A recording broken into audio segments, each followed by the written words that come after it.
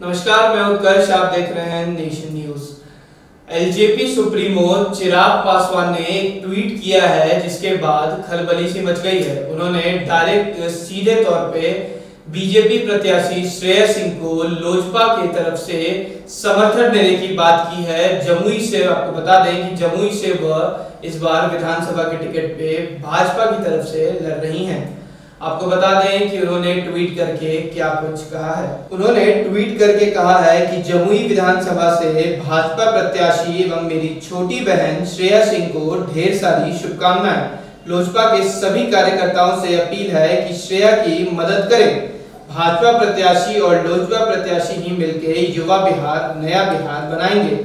उन्होंने साफ़ तौर पर यह भी कहा है कि जदयू को दिया गया एक भी वोट शिक्षकों को लाठी खाने पे मजबूर करेगा। इस ट्वीट से क्या कयास लगाए जा रहे हैं और क्या कयास लग, लग रहे हैं आइए जानते हैं हमारे सीनियर रिपोर्टर अभय प्रियदर्शी अभय जी आप क्या सोच रहे हैं कि जो एलजेपी के तरफ़ से अभी जो हाल में ही कल ही ट्वीट आया है उसको लेके लोग में क्या बातें बन सकती हैं क्या कयास लगाए जा रहे हैं?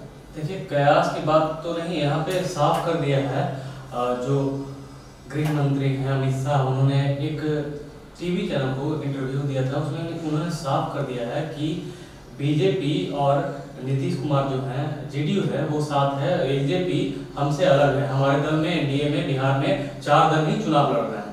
तो यह साफ़ कर दिया है। कयास बहुत सारे लगाए जा सकते थे। इसकी ट्वीट के बाद ऐसा लग रहा था, लोग मान रहे थे कि शायद बीजेपी एलजेपी का फिर से कुछ दोबारा गठबंधन हो, एनडीए में फिर हो सकता है कि चिराग शामिल हो। लेकिन यहाँ पे अमित शाह ने यह साफ़ कर दिया है कि वो सीट को लेकर लगातार नाराज़ चल रहे थे। और दूसरी बात आपने देखा होगा कि पहले भी इस तरीके से चिराग पासवान बयानबाजी कर रहे थे सीएम नीतीश कुमार के खिलाफ, जबकि वो केंद्र में, सरकार में है। लेकिन यहाँ साफ़ कर दिया है अमित शाह ने कि सीट को लेकर वो लगातार पेश फंस रहा था लगातार जो चिराग पासवान है, सीट ज़्यादा मांग कर रहे थे। 2015 की तरह सीट की मांग कर रहे थे, लेकिन अंत में बात नहीं बनी और वो खुद एनडीए छोड़ के गए हैं। अच्छा एनडीए छोड़ के गए हैं तो सिर्फ़ जेडीयू ही नहीं, एनडीए के दो और घटक दल हैं, वीआईपी और जो हिंदुस्तानी आवाम मोर्चा है, वो उनके खिलाफ भी प्रत्याशी उतार रहे हैं। कल ही हमने अपने चैनल के माध्यम से दिखाया था कि संजय सिंह जी का इंटरव्यू किया था हमने।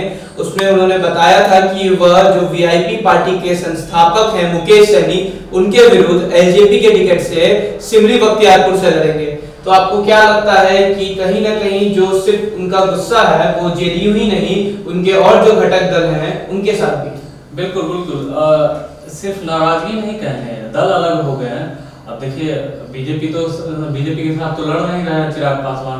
तो लाजमी सी बात है, कैंडिडेट उनको एक सौ तैतालीस सीट पे लड़ना है तो वो कैंडिडेट तो उठा उतारेंगे उनके खिलाफ, एनडीए के खिलाफ। साफ़ कर दिया है चिराग पासवान ने कई बार अपने इंटरव्यू में कि मैं बीजेपी के खिलाफ नहीं जाऊँगा, लेकिन बीजेपी लगातार बयानबाजी कर रही है। बीजेपी का कल परसों आपने बयान देखा होगा किस तरीके से बीजेपी जो है वोट कटवा बता दी थी। और उसके बाद बवाल में बहुत सारा तो जिस तरीके से बीजेपी एक तरफ़ वोट कटवा बता रही है दूसरे तरफ़ चिराग पासवान कह रहे हैं कि हमारे जो आदरणीय प्रधानमंत्री हैं उनकी वजह से नीतीश जी बिहार के मुख्यमंत्री बने हैं। तो उन्हें इतना घमंड नहीं करना चाहिए पर बीजेपी लगातार उन पर पलटवार कर रही है। इसमें क्या लगता है आपको कि बिहार में कहीं ना कहीं एलजेपी बीजेपी के साथ जुड़ने की कोशिश कर रही है? बिल्कुल लगातार ये देखने वाली बात होगी। लगातार जो है आज तक चिराग पासवान जो है बीजेपी के खिलाफ कुछ नहीं बोले। हालाँकि वोट कटवा का बयान आया लेकिन कोई भी उनका कोई ट्वीट देख लीजिए कोई बयान बीजेपी के खिलाफ उसके बावजूद चिराग पासवान ने, ने नहीं किया। तो यह तय है कि बीजेपी को साथ लेकर चलना चाहते हैं चिराग ऐसे में जैसे उनके जो पिताजी थे स्वर्गीय रामविलास पासवान जी उनको मौसम वैज्ञानिक बोला जाता था कि वह उनको पता रहता था कि कौन सी सरकार किन की कहाँ आने वाली है। तो क्या लगता है कि उनका गुण चिराग पासवान में है? उनको लगता है कि मौसम वैज्ञानिक के तौर पर वो देख रहे हैं कि कौन किसके साथ जुड़ के सरकार बना सकती है?